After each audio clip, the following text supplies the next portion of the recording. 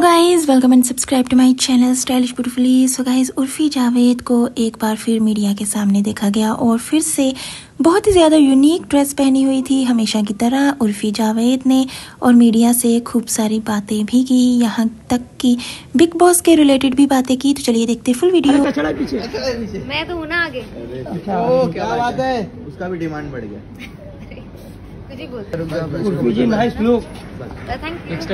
अरे against light खड़ा कर दिया यार। लाइट नहीं है। उर्फी जी को गोरा दिखा हाँ, है क्या? स्टैंड तो मुझे बहुत पसंद है यार। आई लव इट पूरा सपोर्ट दिखा है हाँ मैं सबसे जब भी कोई मुझसे पूछता ना कौन जीतेगा मेरा एक ही नाम होता। एमसी स्टैंड एमसी स्टैंड आई क्या है क्या है?